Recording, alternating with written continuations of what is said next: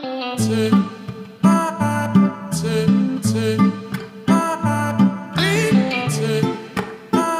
Magandang araw sa inyong lahat. Narito si Kudenter TV para magatid sa inyo ng isang panibagong latest update kay Atiza Manalo sa kanyang laban sa national costume sa final ng Miss Cosmo International 2024. Narito na ang pahayag ni Atiza Manalo matapos ang kanyang full video performance sa kanyang laban sa national costume.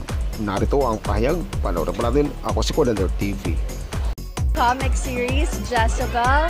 We know that, oh, fun fact for everyone, Jezebel was shown here in Vietnam and a lot of Vietnamese actually know who Jezebel is. So I think that I would want to incorporate a part of Filipino contemporary art in making sure that it is shown to the world because we are not just good at making traditional costumes, we also bring forth pop culture because you know pop culture actually shapes our heritage and tradition. So i think it's important to represent them. This is aaron montoya's brain baby. We just we just gave um, aaron a bunch of like guides but he came up with everything and you know i'm excited to show i'm excited to show all the all the fans what aaron created for me and i know they're gonna be so happy about it